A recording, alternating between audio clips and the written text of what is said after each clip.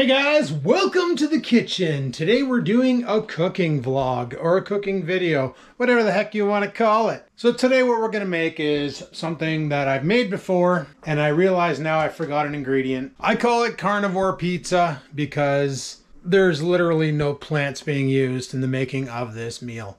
Now, the only thing I forgot was tomato paste or some sort of a paste. I used tomato paste last time. I know that doesn't make it carnivore because now you're spreading fruit on your freaking pizza. Whatever. So, we're going to try and make it without the tomato paste. Now, it's a pretty simple uh, recipe to make the crust. All right, all you need is the following ingredients. So you need one pound of extra lean ground turkey and or chicken, your choice. I went with turkey because, well, it's what I had. One egg and one cup of Parmesan shredded cheese. Chuck all this into a bowl, blend it. I'm to use the food processor because I own one and I never use it. I don't even think I used it last time. I'm pretty sure I used the Ninja blender. We're to try the food processor out and see how this goes. Alrighty, so it's been such a long time that I've used the food processor that I can't find any of the parts for the food processor. So that creates a complication. I don't even know where the hell I put the blender jug. Oh, there it is. It's not down here, the stuff that I need, is it? Nope. So we can always use the Ninja and blend it all up and get it nice and goopy. I'm just gonna wash this thing out because I haven't used it in a while and God knows what's in there. Should also mention that you should preheat your oven to 400 degrees Fahrenheit. You're gonna need that. It's gonna take a while, especially if you have an oven like mine. Alrighty, this thing's all clean. So what we're gonna do is start cracking into our items here. We're gonna throw everything we need into the blender. So one pound of ground chicken and or turkey. If you want, I guess you could try beef. That's up to you. We throw one pound. Sorry guys, my washing machine is about to go to warp. That's what you're hearing in the background. Got to do laundry. Work starts next week. So we got one pound of chick or turkey in there. Crack your egg, plop that in. And then we need a cup of Parmesan cheese. I'm not going to measure it. I don't really care. You can basically use any cheese. I just prefer the Parmesan for this. So I'm not going to measure. I'm just going to chuck a bunch in. I love Parmesan cheese. So freaking good. Yeah, it's about a cup. And then put our lid on. Take it over the blender. That could definitely use some cleaning. Fire it up and let it blend. That was neat. For some reason, the speaker in the bathroom just started playing some twangy banjo music. Probably under attack now, frig sakes. Okay, so when you're done, you end up with a concoction that looks something like this. And it looks pretty sloppy and goopy and kind of like something you'd spread on a sandwich. I don't recommend it. This is uncooked chicken, so unless you want sarsaparilla poisoning, don't do that. All right, you're supposed to line a sheet with parchment paper, but apparently I don't have any. I thought I had a whole roll in there, but I don't. So we're gonna we're just gonna raw dog it. Screw it. In all honesty, all the parchment paper does is it prevents it from sticking. So that's cool, but not really too big of a concern. So I'm gonna grab a spoon here. You get some on your fingers and you want to eat it, but you know you shouldn't because you'll die. All right, so as for this, we just scoop it out of your container right onto the tray. It's gonna come out like a big ball of dough. It's exactly the consistency you want. Now I got a buddy who uses this exact same recipe, and this is what got me to make the pizza in the first place. Because what he was doing with this was he was putting it into a bread loaf pan and then baking it in the oven and making carnivore bread as he called it. Or he'd put it in bun pans and make carnivore hamburger buns. And like he told me, he's like, you make a carnivore hamburger bun from one of these, and then it's like you eat one burger and you're full for the rest of the day because the amount of protein in it is ridiculous. And I noticed that with the pizza too. So I'm just gonna spread this around as good as I possibly can. So yeah, it doesn't look like your standard pizza dough, that's for sure. But this isn't your standard pizza. This is carnivore pizza. This is a man's pizza. Guess I could put barbecue sauce on it. First, we gotta cook the crust up before we can even consider topping it. And I gotta chop up my toppings because I went to buy pre-sliced pepperonis yesterday and guess what? They don't sell anymore. Well, at least at Independent. So I ended up having to buy a log of pepperoni, which is fine because whatever I don't use on the pizza, I'll just eat, which I probably would have done if I bought a bag of pre-cut pepperonis, but you know, whatever. It's so much easier on the parchment paper. So yeah, flatten it out. Use whatever method you want. If you want to use your hands, use your hands. If you want to use the back of a spoon, use the back of a spoon.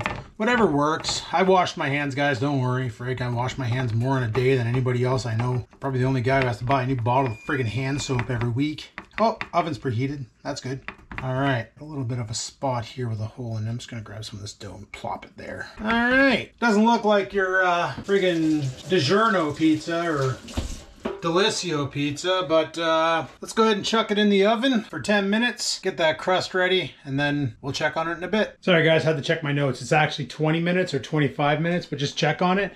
You'll know when it's done. Uh, what I'm gonna do in the meantime is get these pepperonis chopped up, because like I said, I had to buy a freaking loaf of them. So I'm gonna get these cut up into individuals. And also I got some meatballs that I'm gonna chuck on there too. So we got some meatballs left over here that I'm just gonna chuck on the pizza and we'll grill that up with it. Should make it pretty good. Probably gonna end up cutting those up though a bit. All right, I'm gonna get chopping. I already got some meatballs chopped up. We got some pepperonis chopped up. Probably don't need all those pepperonis, but like I said, whatever doesn't go on the pizza goes in my face hole. And we also need cheese. So for the cheese, we're not gonna use Parmesan. Actually gonna go traditional, boys. Gonna use mozzarella. I wanna check to see if I have any barbecue sauce, because I don't think I do. I don't think I do. All I have is ketchup. What's this? Oh, I take it back. I don't know what the heck this is. So we're not gonna use that. What are you? Got some Guinness Bullseye here, but I don't know how long it's been in the fridge, and I don't know if this shit expires. I'm gonna sample it and see if we're gonna use some Bullseye on this pizza. Okay, two reasons why we're not using the Bullseye. Number one, the amount of sugar in one tablespoon is ridiculous. And number two, it's literally separated itself because it's been in the fridge for so damn long that, uh, yeah, it's obsolete. So, naked pizza it is. Now listen, you don't have to top your pizza the way I am. If you're looking for a low carbohydrate crust because you're on a low carb diet, but you still want to add like green peppers and pineapples and whatever, onions and mushrooms and all that to your pizza, by all means, go ahead. If you want to use tomato sauce, by all means, go ahead. Just try and, if you're looking for low carb, try to find a low carb option for the tomato sauce. Something that is like if it's eight grams of carbohydrates, but it's also six grams of fiber, that's a good thing because that fiber negates the carbohydrates because you 90% of the times it's non-soluble fiber. Your body can't really digest that so you end up just pooping it out. You know that's like um, you want a definition of non-soluble fiber? Well corn for instance. Corn is a non-soluble fiber which is why it comes off the cob in your mouth comes back out on a different cob out your butt. All right, guys, time to pull that pizza crust out of the oven and show you what we're working with. Doesn't look as good as the last time, probably because I'm filming. It always works out that way. All right, in an oven mitt. Otherwise, I'll become part of the burn unit at the North Bay Regional Hospital. So, you could probably do a better job of the crust than I did, but that's what we're working with. I'm just air frying up the uh, meatballs just so they're a little more cooked. What we're gonna do right now is we're gonna chuck our cheese on it, even though it's already filled with cheese. More cheese, please. Just gonna really layer the cheese to it because it's like the best part of a pizza. Mmm. Oh, I love Parmesan cheese. And by that I mean mozzarella. All right. So I'm gonna go ahead and chuck some pepperonis to it, leaving a little bit of room for those meatballs. Yeah, I cut up way too many pepperonis. Yeah, way too many pepperonis. But that should be good. So I'm just gonna wait for these meatballs to be cooked and we'll drive them to it and we should be good. Alrighty, so that's what I'm working with, but I think I'm gonna throw some more cheese on top just to really glue it together. I don't know. I didn't do this last time, but I also didn't use ground beef last time. I just threw pepperoni on it. I just saw the meatballs in the fridge and thought, hey, you know what'd be a great idea? There we go. Beauty. Oh, and I also checked with the spatula to see if it stuck to the pan. Surprise, surprise, it didn't. So last time I had parchment paper. For the life of me, I can't find that parchment paper. I know I had some left. I know I didn't run out. All right, drive it back in the oven. Keep an eye on it till all the cheese is melted. Then we're ready to eat. All right, guys, turn that shite off. Let's get that pie out here. Let's see what we're dealing with. Oh yeah. Look at that mess. So you gotta let it cool for a couple minutes. Uh, to cut it, I was about to go get my Bryan Adams CD because I heard they cut like a knife. But then I actually found a pizza cutter. So forgot I owned one of these. Let's see if we can cut through this thing. Cut it into four, I guess. Maybe into eight. I don't know. We'll see what we do. Four sounds good. So we'll let it cool for a bit so it solidifies. And then it's om nom time. Would you just look at it? Alrighty guys, we're upstairs. Let the pizza cool. Right here on my plate. Looking great. But here's the real question. Can you actually pick up a slice unlike that cauliflower crust that we made? Yes, you can.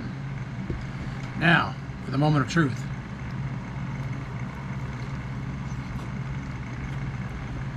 Mmm. That's really good. That's really freaking good. You'd swear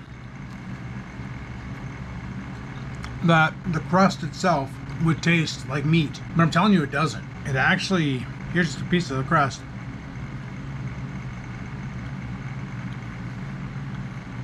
It tastes like a salty piece of bread, which is really good.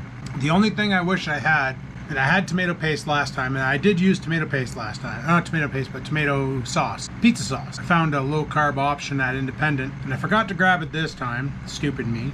But the other last time also what I did was I bought Italian seasoning, and I threw that into the blender with the egg and meat and uh, cheese. That worked out nice. So season your dough before you cook it, one thing. Uh, I probably could have done a better job on building the pizza crust, like rounding it out. What I should have done was thrown it into this plate, rounded it out, and then flipped it over and plopped it on the cookie sheet. That would have been smart. I'll remember that for next time, because there will be a next time, because whenever I get a pizza craving, I got a lot of ground chicken in the freezer. Might as well just make myself a carnivore pizza. Anyway, guys, there you go. That's the carnivore pizza. Hopefully you enjoyed it. I know I'm about to. I give it a go. Like I said, top it with whatever you want. If you don't want to make it pure carnivore and you want to add some vegetables to it or some tomato sauce or whatever you want to do to it, give her.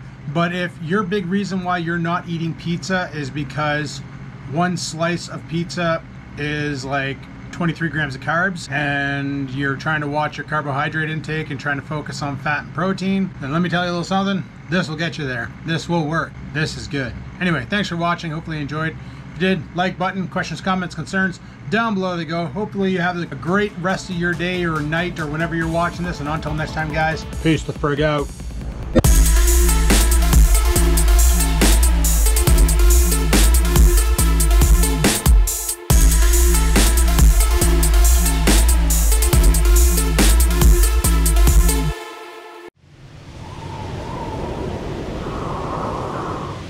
Sit, stupid, sit. Good dog.